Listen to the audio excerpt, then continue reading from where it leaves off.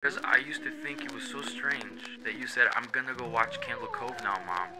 And then you would tune the TV to static and just watch dead air for 30 minutes. You had a big imagination with your little.